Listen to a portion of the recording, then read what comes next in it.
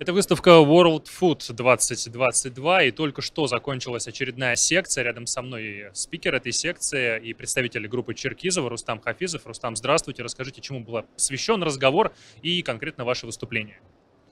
Добрый день. Ну, сегодня действительно довольно актуальные э, вопросы и программа, которую мы видим на форуме. Конкретно про наше мероприятие мы обсуждали сегодня, с одной стороны, стратегические вопросы, связанные с прогнозами развития и производства на следующий год. Обсуждали оперативные текущие, которые складываются в более краткосрочной части.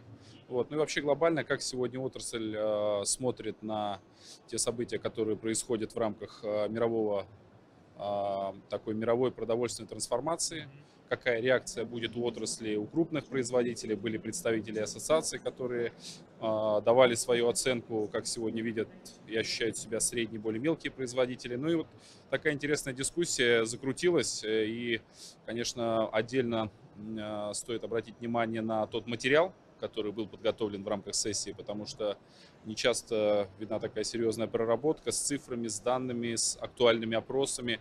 Это, конечно, сформировало высокий интерес и такую живость дискуссии. А какой, какие основные, наверное, не знаю, для себя тренды выделили и, как вы уже сказали, куда смотрит отрасль, куда же она смотрит?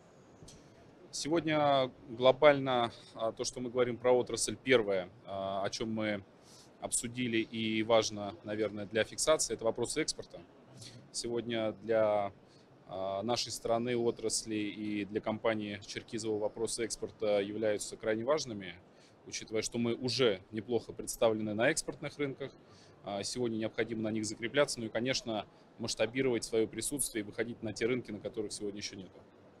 А какие а, вот именно планы, я не знаю, по расширению географии, я имею в виду, продаж и наращиванию объемов? Какие цифры, какими вы оперируете? Э, если говорить про группу, то у нас порядка 8, э, сейчас посмотрим, как год закончим, увеличимся процентов от общей выручки, это как раз э, выручка от экспортной деятельности. И учитывая такую, такие текущую ситуацию турбулентности в мировой экономике и в продовольственной сфере, одна из основных задач это вот удержать как раз те объемы, и поставки, которые есть. Потому что порой действительно и логистика ломается, и возникают какие-то новые вызовы, с которыми приходится сегодня разбираться. И вот, конечно, основная задача это быть на том уровне, который сегодня есть, ну и планомерно потихонечку расти. Что ж, я надеюсь, вам это удастся. Спасибо вам огромное, удачи на этой выставке. Спасибо. Спасибо.